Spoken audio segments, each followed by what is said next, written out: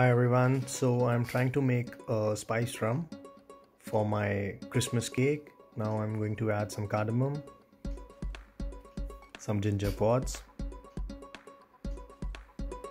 some cloves, and then some peppercorns.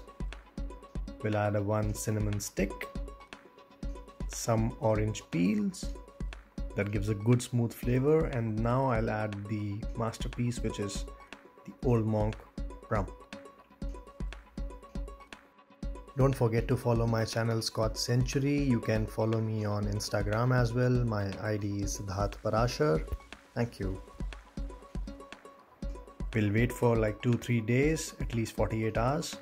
Now my spice rum is ready. I've strained it and now I will pour all my spice rum into this uh, cake mixture that I will make once the dry fruits, nuts and the berries will soak all my rum hopefully in a week's time. Thank you.